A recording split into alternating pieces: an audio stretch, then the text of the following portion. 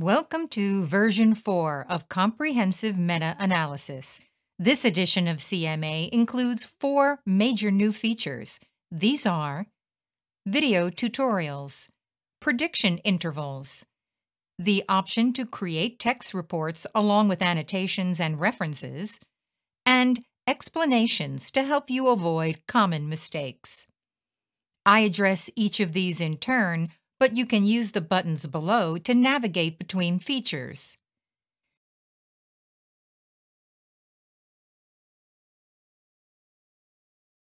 The first new feature is video tutorials.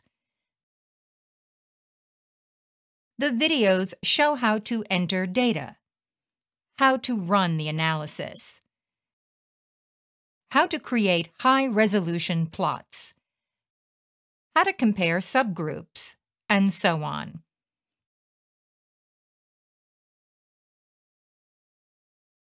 The second new feature is prediction intervals. In version 3, the program included a line that showed the mean effect size with its confidence interval. The confidence interval is an index of precision. It tells us that the mean effect size falls between here and here but it says nothing about how widely the effect size varies across studies. That is addressed by the prediction interval. In version 4, you have the option to add a line that shows the prediction interval.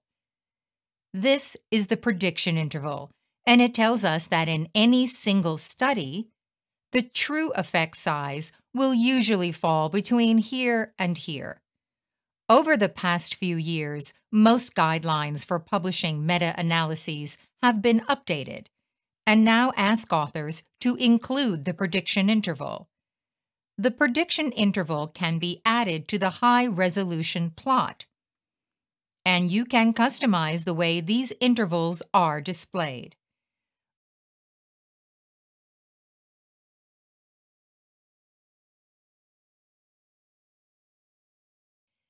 Additionally, CMA can create a plot that displays the entire distribution of true effects. It also generates these captions. This caption corresponds to this line. It reads, the mean effect size is 2.4 with a 95% confidence interval of 1.7 to 3.4. This caption corresponds to this line. It reads, the true effect size in 95% of all comparable populations falls in the interval 0.65 to 8.9. And it tells us that while the mean effect is here, in any single population, the true effect size can fall some distance from the mean. There are some populations where the treatment is actually harmful and some where it is extremely helpful. With one click, the plot can be exported to Word or to PowerPoint.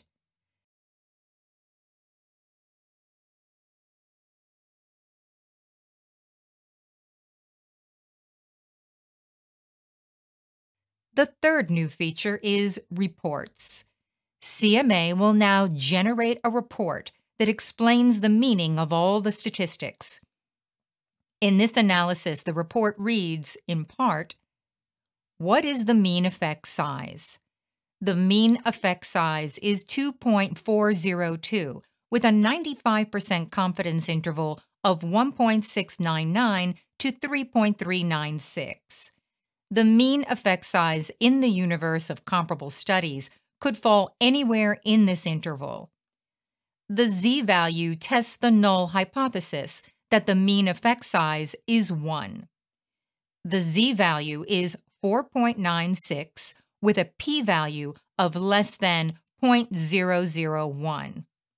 Using a criterion alpha of 0.050, we reject the null hypothesis and conclude that in the universe of populations comparable to those in the analysis, the mean effect size is not precisely 1.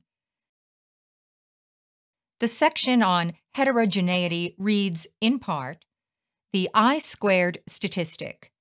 The I squared statistic is 71%, which tells us that some 71% of the variance in observed effects reflects variance in true effects rather than sampling error.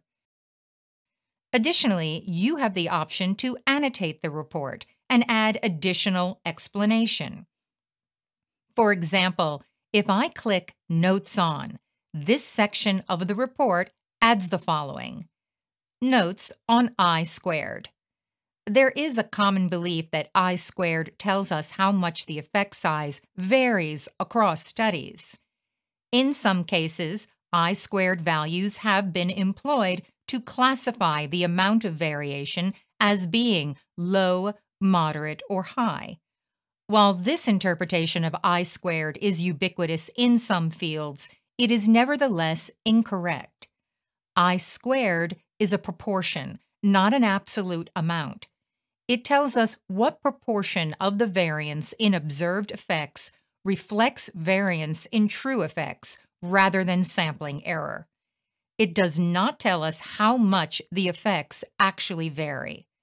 The statistic that tells us how much the effect size varies is the prediction interval, which is discussed below. After those notes, the report returns to the basic text, which continues as follows.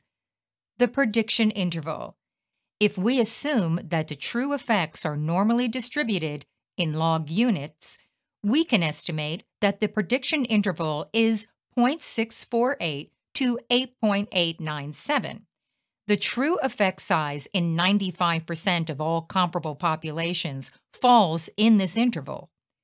The program inserts the relevant citations, and you can export the report to Word with one click.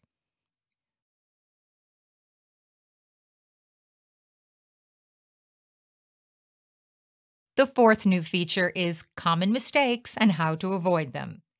We recently published a text called Common Mistakes in Meta Analysis and How to Avoid Them. These include serious mistakes in such areas as how to choose a statistical model, how to report heterogeneity, how to understand the tests for publication bias, how to interpret subgroup analyses, among others. From any module in the program, you can access the relevant parts of this text. Learn what the mistakes are and how to avoid them in your analysis. That's an overview of the new features in version 4. Video tutorials, prediction intervals, the option to create text reports along with annotations and references, explanations to help you avoid common mistakes. To learn more, go to this webpage.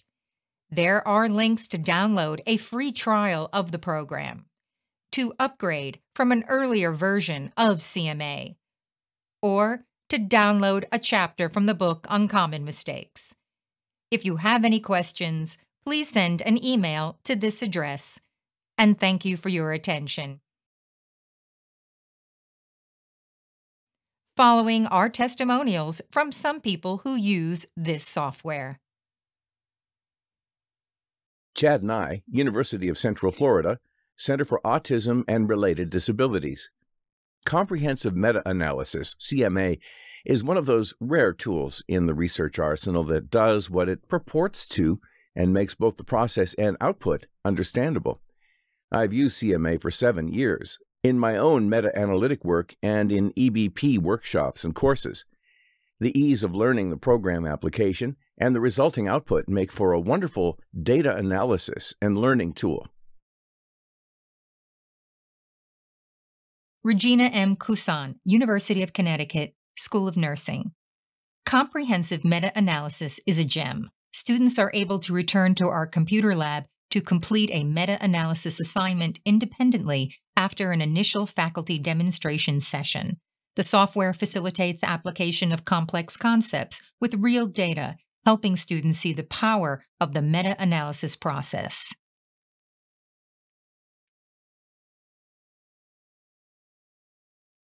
Rachel Hirschenberg I am an advanced graduate student in clinical psychology, and CMA software was integrated into a meta analysis course I recently took. I feel very fortunate to have been trained in meta analyses at a time when we have this software because CMA is easy and I dare say fun to use. Rather than spending countless hours computing my own effect sizes and creating syntax, the program did it for me, which allowed me to spend my time really looking at the data, both graphically and numerically. I bought CMA for myself and would recommend it to anyone looking to learn the art of meta analysis. Jae-Suan Lin, Michigan State University. Comprehensive meta-analysis software is like a magic wand. The simple and clear interface, like an Excel sheet, will guide you to do complicated meta-analysis within only a few clicks. The comprehensive formats included in the software allow researchers to input the data in various ways. It provides clear outputs and high-resolution graphs which can be imported to Microsoft Word. I especially love the feature that shows you the calculation steps so you can check whether you've run it correctly. It also provides advanced subgroup analysis, moderator analysis, meta-regression, and publication bias analysis. This software is a lifesaver.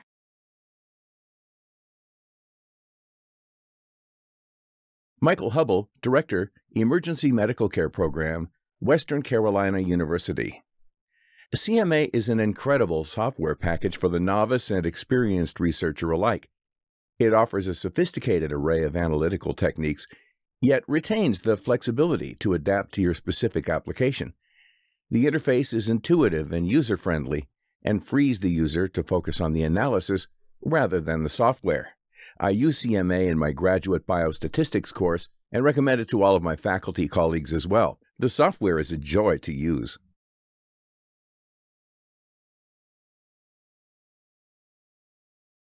Edward Mullen, Columbia University.